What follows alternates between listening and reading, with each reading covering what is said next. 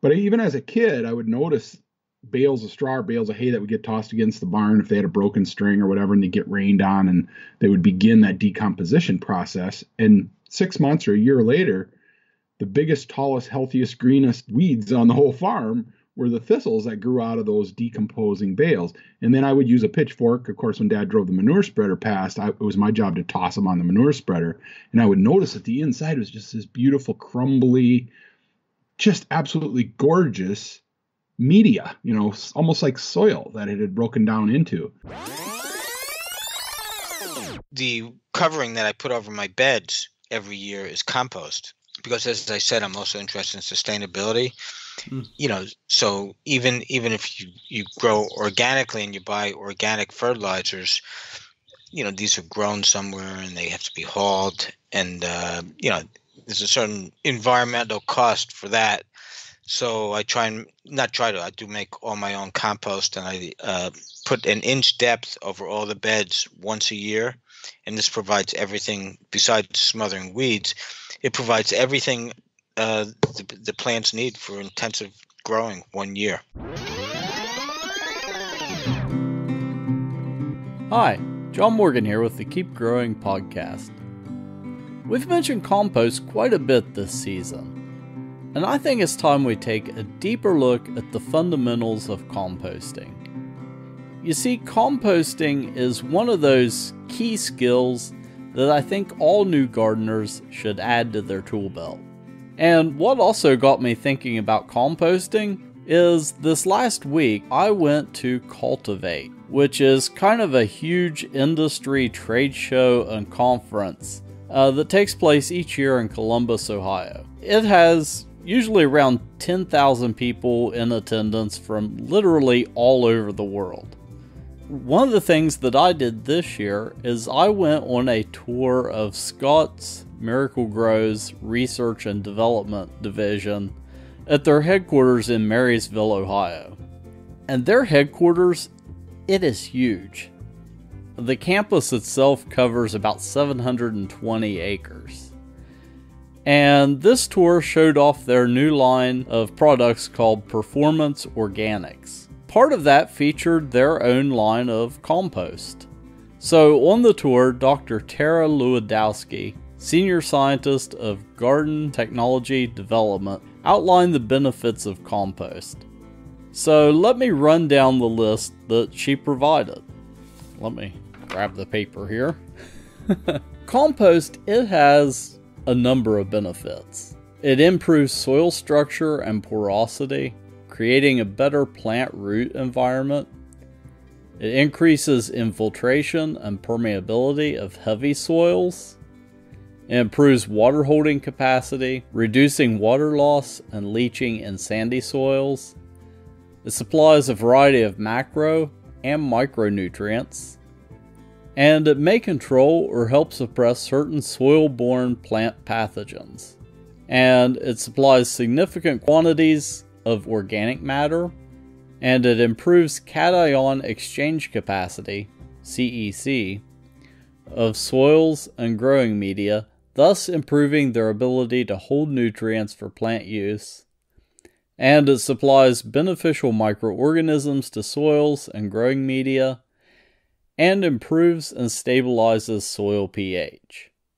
So that's kind of a very sciency list of things.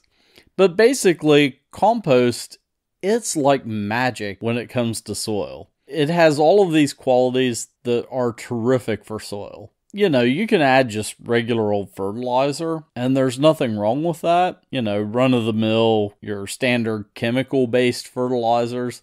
Then there's also organic fertilizers, which they also talked about on this tour because they're developing their own line of organic fertilizers now.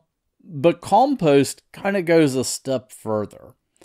It's it's kind of like uh, fertilizer on steroids, and it's also long acting because it's a product that's broken down and decomposed, but it's also still going through that process even after it's been added to soil. So you get this time release effect with compost. Another thing that they showed off on the tour is the process that they go through to actually test and verify the quality of their compost because they have multiple locations around the US that are producing compost and they want it all to fall within a certain standard range. And I'm not sure if I could legally, you know, go into a lot more detail uh, about that because on the tour, you know, it is their research and development department. So they were on the tour. It was like, uh, you can take a picture of this, but not this over here. So if you want to see a little bit more of the tour and some of the stuff that I was allowed to take pictures and video of, later this week, I'm going to be uploading a vlog that I did of my view of cultivate and what I experienced. I'm going to be uploading that to YouTube a little bit later this week. I've still got some editing to do on the video. Uh, but yeah, Scotts Miracle-Gro, that facility is really awesome. And hopefully in the future, I'll get somebody here on the podcast from Scotts to to talk about what they're doing up there in Ohio. Um, so what is compost? And more importantly, how can we make our own? Sure, you can go out and buy it, but compost is actually really easy to make. I've said before that compost is magic. Of course, it's a little bit more than that. But really, all that it is is decomposed organic matter. It gets even simpler than that because there's really only four ingredients to compost there's greens, browns, moisture, air, and then I like to say that there's a fifth ingredient, and that's time. Because it does take time to, I don't know if you're really growing, but producing compost. So let's take a look at, of course, air and moisture, we know what they are. Um, so let's take a look at greens and browns. Greens are anything that's high in nitrogen content. So that's things like vegetable scraps uh, from your kitchen, uh, grass clippings, and then garden weeds. But with one caveat, you want to make sure that if you put weeds from your garden into your compost bin, that they don't have seeds on them. And then also there's some greens that aren't green, but they're still called a green because they're high in nitrogen. And that's things like coffee grounds and manure. And since we're talking about those and they're brown, let's get to, in the case of compost, browns. So, browns, when it comes to composting, are anything that's high in carbon. So, that's dry leaves. Uh, sawdust is great to compost. So, uh, I know in this area where it's a more rural area, a lot of people, if they have horses, they'll use sawdust in the stalls. That is great to add into compost because it's got a little bit of horse manure in it, also some urine, and that adds nitrogen in. Um, then there's also straw. So, Joel with the uh, straw bale gardening, he's basically starting off with a big clump of browns. And then he's getting the nitrogen in by adding nitrogen fertilizer to the bale to kind of start the composting process. Then there's also cardboard and paper. You can compost cardboard and paper. The only thing is is with those, you know, if you're composting cardboard, you want to make sure that it doesn't have tape or anything like that on it or staples. And with paper, you want to make sure that if it has ink on it, that it's a uh, an organic based ink. Like I know a lot of newspapers now they actually use a soy based ink uh, to print with. So those you can compost. There are some things that you want to avoid, and that's anything like meat or dairy or anything that's oily or greasy from your kitchen. And then, like I said before, you want to avoid weed seeds and then also any plants with diseases. Because uh, we'll talk here in a little bit about temperature and composting. Um, if you're doing compost right, the pile's going to get really warm. And something that they talked about on the Scotts Miracle-Gro tour is that they have like a set temperature range and a set time period that they want to get that compost up to. And that's to kill off any seeds or diseases or anything like that in the compost. And, you know, they're doing that on an industrial scale. And the larger the pile, the easier it is to get it up to that temperature. So, when it comes to the process of making compost, the first thing is bin shape and size and stuff. And there's all types of composting systems out there. Uh, but the easiest thing that I've found is using pallets to make compost bins. I use a system where I use three pallets to kind of make a U shape, and that leaves one side open, which makes it easy for me to get in and turn the compost. Uh, some people use four sided bins, and that just makes it a little bit harder to get down in it and really stir it up if you do use pallets like I use, uh, make sure that you get untreated pallets because you don't want to be introducing any you know chemicals into your compost. And I find that with using untreated pallets, they usually last about four or five years before they really start to rot and fall apart. And you know, once they do that, they're pretty easy to dispose of. Uh, you just want to make sure you get all the nails out. The next thing to watch out for when it comes to compost is kind of the recipe for compost. And it's a really simple recipe. Um, you want to do mostly browns and then a little bit of greens. Usually, you kind of run into this problem where you have more greens than you do browns. Um, but you want to avoid putting in a ton of of greens because you'll end up with a, a compost that's too wet and it's kind of slimy. And if it starts to smell bad, then you know that you're kind of doing something wrong. But generally, you want to do 25 parts browns to one part of greens. And something that you can also do to kind of help introduce uh, microbes and bacteria into your compost is kind of inoculate it with a little bit of soil from your garden. Uh, that really helps kind of jumpstart it and get it going.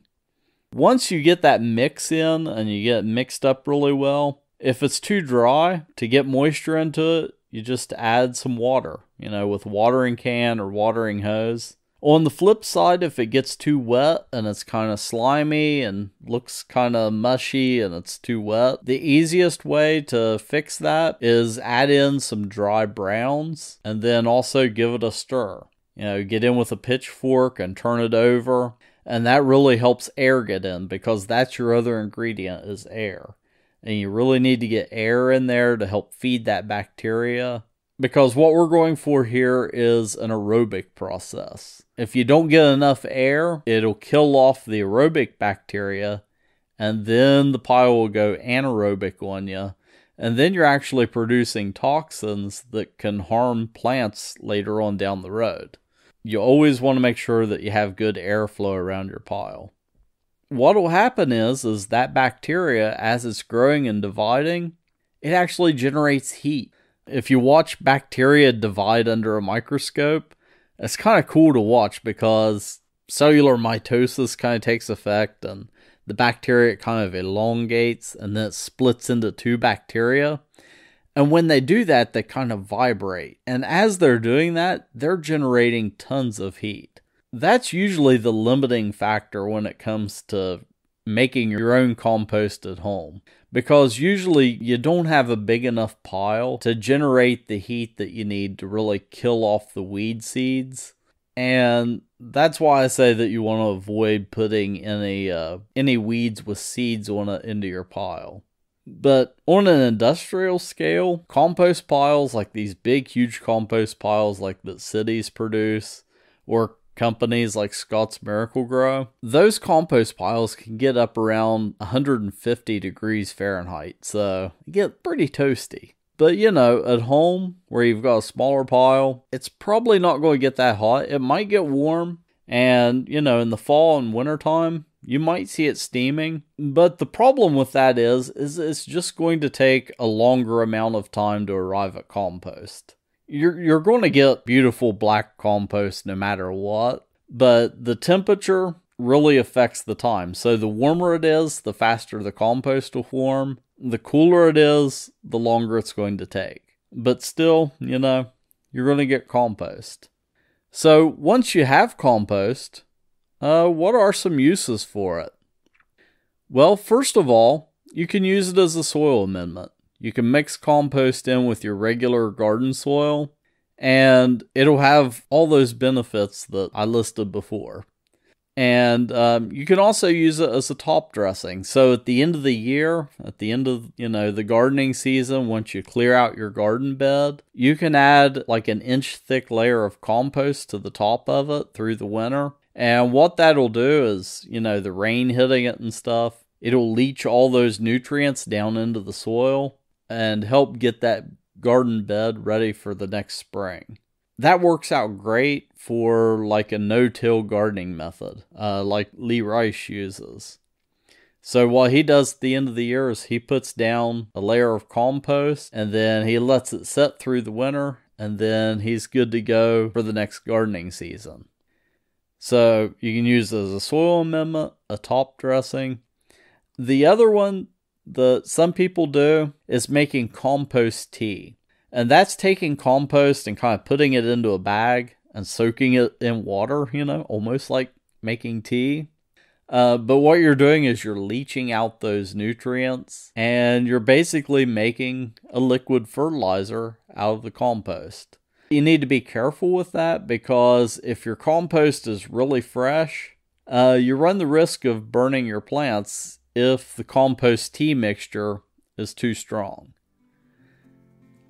Composting, it's a little bit of magic, uh, but it's an art and it's a science because we're dealing with biology, and it's one of those things that it takes a lot of practice to master. I've been gardening since I was a child, and I still feel like that I haven't mastered composting. But the nice thing is, you really can't mess it up. If it doesn't come out exactly right, it'll just take a little bit longer to produce compost. So, my gardening wisdom for this week, it comes from a 13th century Persian poet named Rumi. And he said, "The ground's generosity takes in our compost and grows beauty. Try to be more like the ground." Which I think is a great way of saying you need to kind of take, you know, the crap that people throw at you and make something good of it. That's my uh, 2019 translation of his 13th century quote. uh, well, with that, um, I'll kind of wrap up the podcast for this week. For show notes and more, check out our website at bobsmarket.com slash keepgrowing. We're proud to recently be featured on RadioPublic's list of new seasons. And whether you're listening on iTunes, Google Play, or other platforms, be sure to give us a review. For more about Bob's Market, you can find us on social media at Bob's Market, and of course at our website bobsmarket.com. The music in this week's episode is by Silent Partner. Copyright 2019 Bob's Market and Greenhouses Incorporated.